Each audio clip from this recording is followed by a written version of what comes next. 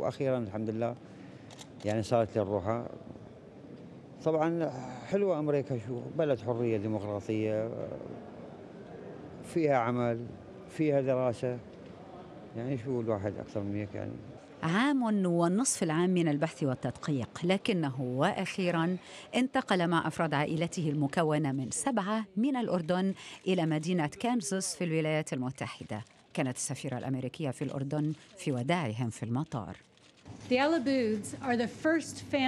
آل عبود أول عائلة تغادر بعد أن منحتها إدارة الهجرة الأمريكية حق اللجوء.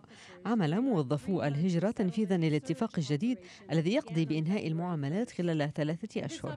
هذا الاتفاق الجديد سينهي معاملات عشرة آلاف لاجئ مع نهاية الشهر الجاري.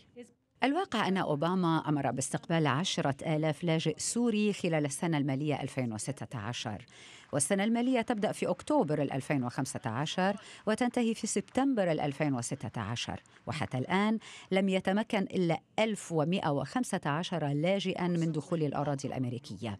لماذا تتباطأ الولايات المتحدة باستقبالهم؟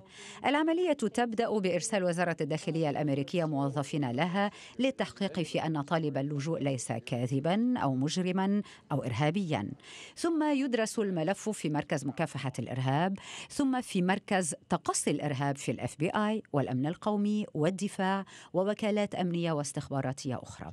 وفي خلال هذا الوقت يخضع طالب اللجوء لاختبارات صحية. ومن يعاني من أمراض معدية مستشرية بين اللاجئين يخضع لعلاج طبي عادة ما يؤخر سفره. ولأن الانتقادات طالت البطء الشديد في المعاملات يجري العمل على تسريعها. إنه جزء من الخمسة وثمانين ألف لاجئ. كان وعد أوباما باستقبالهم من بينهم عشرة آلاف سوري. ومن أجل تحقيق هذا الهدف أقمنا مكاتبنا في الخارج وننوي الفصل في عشرة آلاف طلب لجوء خلال ثلاثة أشهر. ما إن تتم الموافقة على حق اللجوء تدفع وزارة الخارجية الأمريكية للاجئ ثمن تذاكر السفر عبر المنظمة الدولية للهجرة. هذا بعد أن يوقع طالب اللجوء تعهدا بإيفاء سعر التذكرة بعد استقراره.